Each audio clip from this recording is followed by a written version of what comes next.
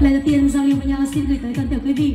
À, các anh các chị các bạn đang mặt tại đây tại gia đình tân gia của à, gia đình anh Bộ đúng không ạ? Những lời chúc cho sức khỏe và lời chào trân trọng nhất. Chúc cho gia đình anh có một ngôi nhà luôn khang trang gia đình ấm êm hạnh phúc và bước vào xuân năm mới an khang thịnh vượng đa tài đa lộc đa phú quý. Và đắc phúc đắc thọ đắc vinh quang. Chúc toàn thể quý vị anh chị các bạn chúng ta đêm nay sẽ có những giấc mơ hồng thật sâu đúng không ạ? Và một tay thật lớn và đi quẩy luôn cùng em đi ạ.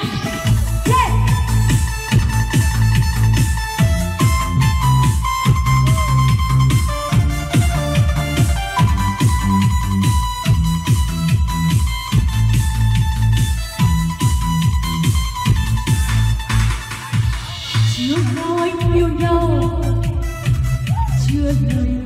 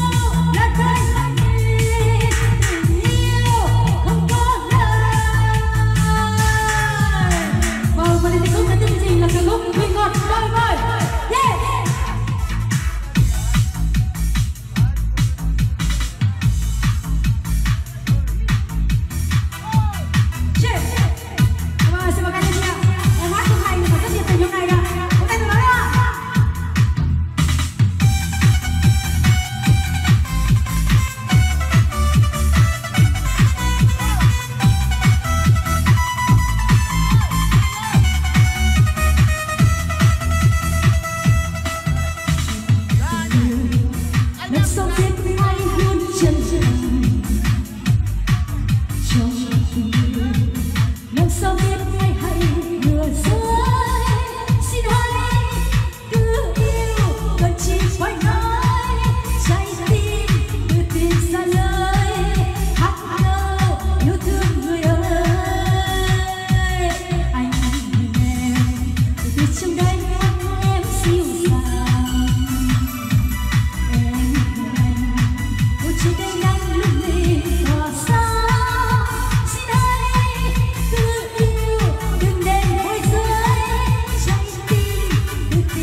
love.